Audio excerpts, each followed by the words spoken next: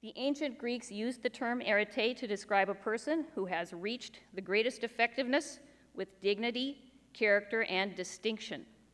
Vint Cerf embodies arete. The people of Elon University and the Imagining the Internet Center are pleased to honor him with Elon's inaugural Arete Medallion.